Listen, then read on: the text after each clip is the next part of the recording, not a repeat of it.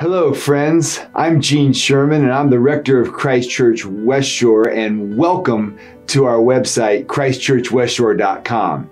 Here at Christ Church, we're a gospel centered church, meaning all are welcome. There's no perfect people here.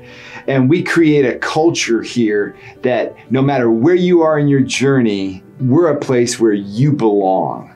And we start every service with these words To all who are weary and need rest, to all who mourn and long for comfort, for all who feel worthless and wonder if God even cares about what you're going through, to all who have struggled in their walk with Christ throughout this week and long for strength, to all who sin and need a Savior Christ Church opens wide her doors with a welcome from Jesus Christ, the ally to his enemies, the defender of the guilty, the justifier of the inexcusable, the friend of sinners.